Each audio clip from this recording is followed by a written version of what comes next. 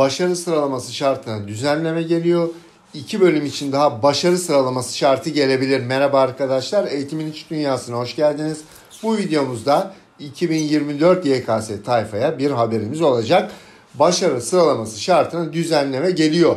Son yıllarda en çok tercih edilen iki bölüm için daha başarı sıralaması şartı gelebilir. Aday bölümler hangileri ayrıntıları aktaracağım. Başlamadan önce sınav öncesinde ve sınav sonrasında videolarımızda sizlerleyiz. Kanalımıza abone olup bildirimleri açmayı unutmayın. Evet bazı bölümlerde bildiğiniz gibi başarı sıralaması şartı var arkadaşlar. 2024 YKS sınavı için başarı sıralaması şartına düzenleme gelecek.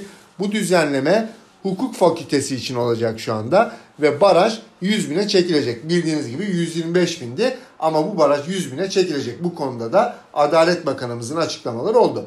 Ama bu bölümlere ilave olarak 2024 YKS sınavında iki yeni bölüm daha başarı sıralaması şartına eklenebilir arkadaşlar. Bu ihtimal var. Peki aday bölümler hangileri? Arkadaşlar bu bölümler son yıllarda en çok tercih edilen bölümler arasında yer alıyor. Hangi bölümler? Psikoloji ve hemşirelik. Bu bölümlere de başarı sıralaması şartı gelebilir. Bu iki bölüm aday arkadaşlar. Psikoloji ve hemşirelikte başarı sıralaması şartına dahil edilebilir değerli arkadaşlar. Hakkımızda hayırlısı olsun diyoruz. Çalışmalara devam ediyoruz. Hepinize kolaylıklar diliyorum. Videomuzun sonuna geldik. Bizi takip etmeyi unutmayın. Tekrar görüşünceye kadar kendinize iyi bakın. Hoşçakalın.